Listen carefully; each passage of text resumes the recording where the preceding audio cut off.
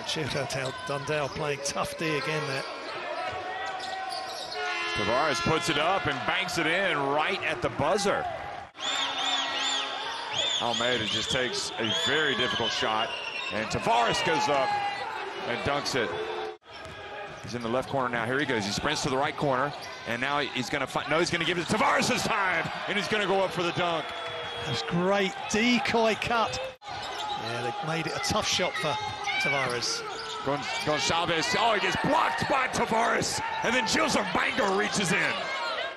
Just desperation defense. Glad that ball didn't come over here. That was moving. Both these teams are going to be tired tonight. And Almeida drives in. There's the follow from Tavares. Goodness gracious! And he has Oh. shattered the backboard. Mendonça over to Tavares. Please don't dunk it. Three-pointer. Xavier!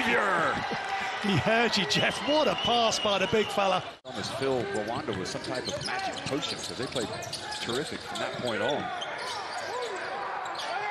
Here's uh, Almeida and Joel Almeida right off the bench.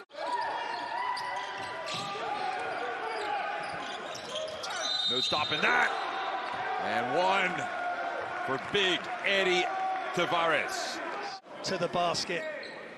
The size, and he keeps the ball up pretty well. There was no deep. Gave up an easy Ivan Almeida layup.